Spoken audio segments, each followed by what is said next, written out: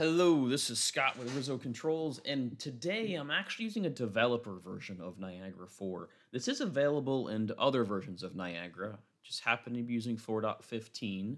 And this video is about how to set up an outgoing e email account using any instance of Niagara, whether that's a Jace, whether that's a supervisor. And today I have an N4 supervisor running.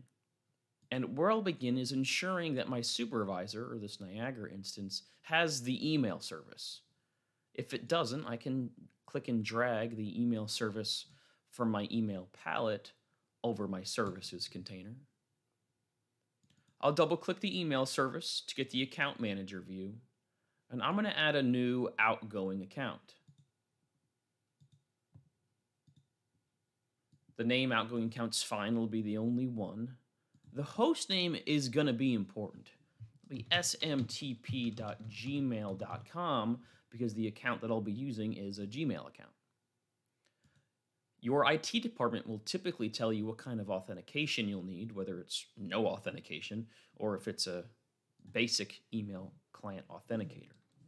The account is what the email account that you'll be using, and today I've set up an app for Scott at rizzocontrols.com. Why that app is so powerful is because this is the password, is not your normal password.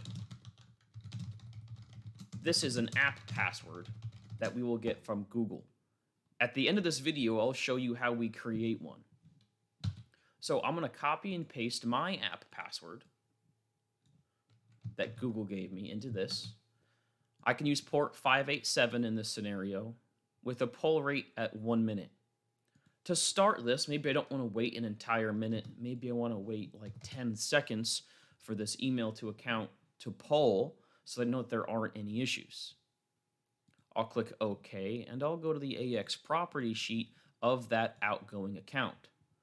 What's going to be important here is the host name's correct, that port is available outgoing, and that we have a status that's okay.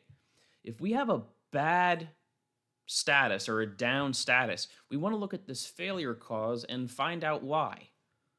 Maybe to conserve some bandwidth, I lengthen up this poll right now that we've established some communications and click save.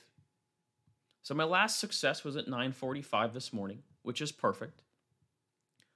What I'm going to do to test this account is to right click the outgoing account, hover over actions and click send from this has to be Scott at Rizzo Controls, right?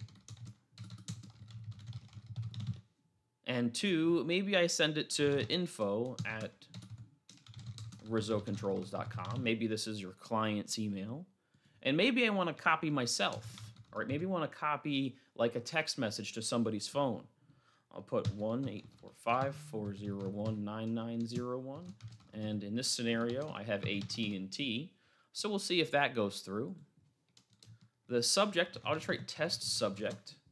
And for the body, I'll write test body. I'll click OK, and the queue size will increment by one. And for proof of concept, here's that email from Scott at Rizzo Controls to our info. So we see that that worked pretty well. Now, how do we get that app password that we need? What you'll need to do is to sign into your Google account. And in the Google account, there's the security tab. Under the security tab, I'm going to go into my two step verification. It may force you to sign in one more time. After you're signed in, I'll go down to app passwords, hit my next app password, and I already created that app password for my N4 supervisor.